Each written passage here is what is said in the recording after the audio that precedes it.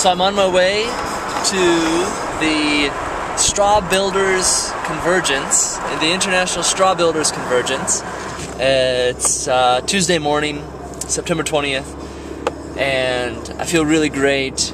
Uh, the, it's a beautiful day. I've got a beautiful drive ahead of me to Estes Park, and last night I prepared uh, a presentation that I'm really quite proud of.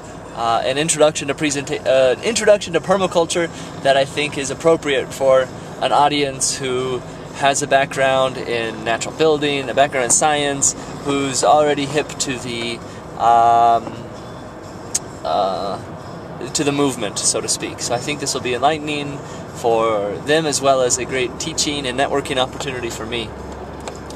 Um, so, uh, hopefully, I'll set this little camera up in the back of the classroom and, and get some video of uh, of the uh, of the presentation, and I, I can use that video as documentation uh, for Gaia.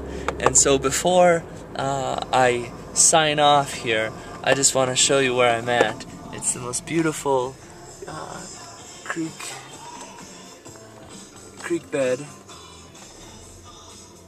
and canyon, and going down this way too. Um,